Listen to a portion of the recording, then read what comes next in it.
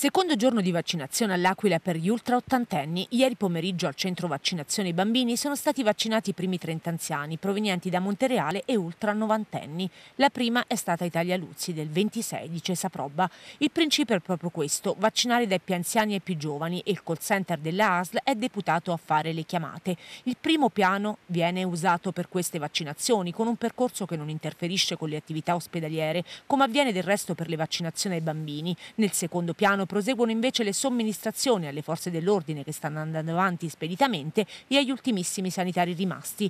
I prossimi ad essere contattati per il consenso saranno i militari delle forze armate, del nono reggimento alpini in particolare da quel che si sa, che dovrebbero a breve ricevere la vaccinazione.